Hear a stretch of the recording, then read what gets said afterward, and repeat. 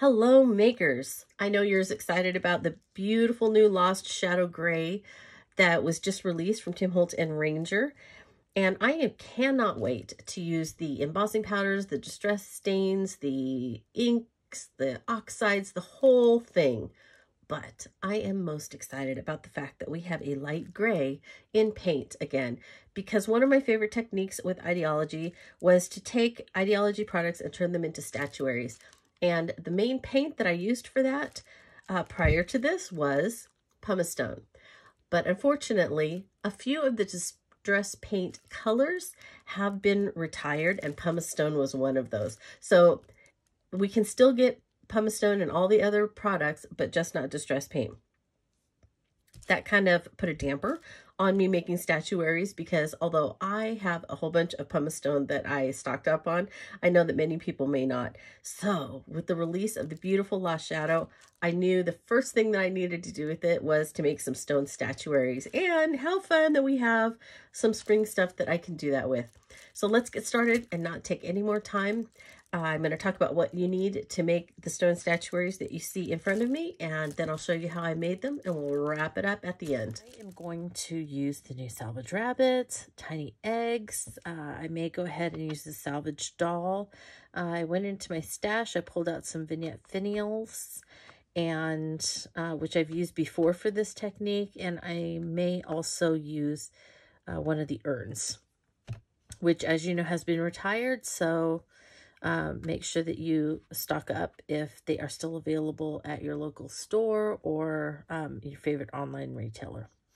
Okay, so let's get started on making things into stone statuaries. I'm going to be actually using this for a spring make that I have had planned for a while and I this was prior to knowing about the salvage rabbits and the tiny eggs so I was just going to use the salvage doll for the project I have in mind, but now I'm super excited that I can add the rabbit and the eggs. So let's get started making with the new Lost Shadow Distress Paint. Three. The finial set comes with kind of this chess piece looking thing, or, you know, this is actually the thing that looks like the finial. And then you have two of these base pieces. So you have a large one and then you have a small one. Same with the finial. And then you have a small finial that looks like this. Well, I, for both of these in the past, have used my Dremel. You can use, um, if you have a little, you know, like a little hand saw or uh, gardening snips. And, you know, if you hold this with something in a vise or something like that and you're careful, you can trim that off. And then uh, I sanded it down. You can see I still have sawdust on me. Uh, I sanded them down when I did that on the other finials. And then that actually gives you four different sizes of these to be able to use. And I have found that sometimes the top finials work better for me for the statuaries. And I'm going to actually link in this to some that I made for uh, the, particularly the one graveyard that I'm um, thinking of. And then actually a, a spring garden um, Idea-ology one that I, I used the doll for as well. So I'm going to attach her to this little doll here to the top. And I think that is a good size statuary. This one just seems a little, it's okay, but she seems a little small in comparison to the base. So I'm not sure that I want to go in that direction, but I have the option. So I know that this is a little bit cumbersome and huge, but I'm thinking of doing, as I had on here, a couple of eggs in the front and maybe an egg or two in the back and gluing that down with collage medium. And once I get them glued, I need to let them dry. And then I'm going to take and cover them with texture paste. For this project, whichever one you have, it's going to be fine because you're just covering it to give it kind of a stone texture in places and especially down around the bottoms or areas where you think that moss might end up growing. So you want to make sure that there's plenty of texture there and then just a little bit on all of the plastic resin pieces because once all of that's dry, they're completely dried in place, the grit paste has completely dried, you're going to put a layer or two, depends, to cover the whole thing in Lost Shadow Distress Paint.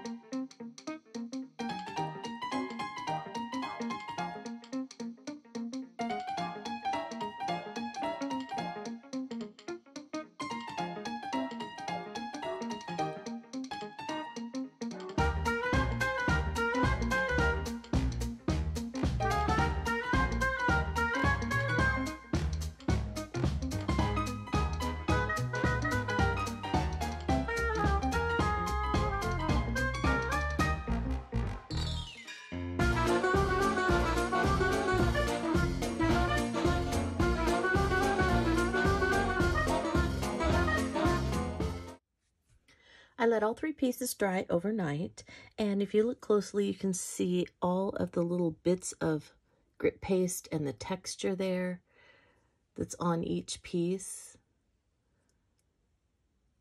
And so I have several layers that I need to add to this to make it look like stone statuary that's been in a garden for years. So much of this that's sticking out, I'm going to put something on it to make it look a little bit mossy. But I just wanted you to see how they look before I do the next step, which is to use the beautiful Lost Shadow Distress Paint. So I'm going to get started painting all of these and I'm going to put one coat on and then we'll see. It generally takes a couple of coats. I want them completely covered in Lost Shadow. Before. Well, fellow makers, my tutorial went a little off the rails. Uh, as you can probably tell from my voice, or maybe not, maybe I always sound like this, I don't know. Uh, I got a really bad cold suddenly um, after I started this, and I just did not get back to it. I spent the whole weekend in bed. So I am bound and determined to finish this because I'm super sad that I didn't have it done for reveal day of the beautiful new Lost Shadow color. So I'm going to keep saying that because it is gorgeous. I'm super sad that I missed sharing this on the day. But hey, all's not lost. We can keep sharing about it, right? Now, uh, I am a little bit... Uh, I don't know, scattered. I have like five distress sprayers and I could only find my oldest one that's all yellow. So this is just plain water in here. It's just the outside of the bottle that it has gone through years of inks and stains and paints and everything like that. So anyway, I just have plain water in here. I have a clean brush. I have some distress crayons. And I think that we have um, Rustic Wilderness Crayon, but I don't know. I couldn't find it. I just grabbed a couple of greens. So I have Mowed Lawn and Peeled Paint. I have Black Soot, Pumice Stone, Walnut Stain, and Brushed Corduroy. And we're going to go ahead and age these to make them look like they've kind of been in a garden. So I'm going to do that in fast forward. But basically what I do, and just to remind you, I've I glued these down. You saw me in fast forward glue them down with collage medium, let those dry, and then I took my finger and I pounced tra um, translucent grit paste all over it. Now I'm going to say this, you can see that I tried and I didn't get it like under her arms here and things like that. That's fine. It's not really going to matter. But I will say this because I had trouble getting it on the bunny tummy too and under the arms that when you're applying texture paste to something like the bunnies or the salvage doll that are plastic, the Santa, the deer, any of those things, or even metals, I have found that the opaque, if you're going to paint over it, I would recommend you use the opaque texture paste simply because I think that it has some gesso in it that allows it to stick a little easier. I've just found that this sticks to slick surfaces a little easier, and I have more trouble with the translucent grit paste. So if you are using translucent grit paste for that, what you'll have to do is do one layer and just kind of just kind of smush it all over it as best you can let it dry, and then it kind of has the tooth to go ahead and take the rest of it. Uh, but the opaque, usually I only need one for the most part, just one go around. Um, but since I need this for another project I'm working on, I was using the translucent for the slick thing. So you can see that there's some spots that it didn't exactly get stuck to even with two rounds. So that's just my little, uh, you know, in my opinion kind of thing. Okay, so let's go ahead and uh, make our statuaries look like they've been around for a while. So I'm going to do this in fast forward. Basically, all I do is layers and layers of different colors, and then I will wet them. Sometimes I, I just completely douse them. Um, I will use my brush and kind of brush them in and get them down in to certain areas. Um, before I even start that, I may go ahead and use my Distress uh, blending brush that I have set aside just for my crayons, and I may do that and get it kind of in some of all the little spots as well. So I, I want it to settle in among things so that it looks like it's been sitting out in the garden for a while and that, you know, dirt and grime and, and years of soot have, you know, attached itself to it. And then in spots, I'm going to go over with the greens and make it look like a little bit of um, like algae or moss has grown on them as well. So that's why I have some greens out. All right, so as you're watching me kind of in fast forward, that's what I'm doing. And then we'll pretty much be done, and these will be ready to go into the project that I have not started yet. I only have it in the planning stages, but this section will be done, and so bringing it all together should be fairly fast. So let's get started aging our beautiful Lost Shadow Distress Paint.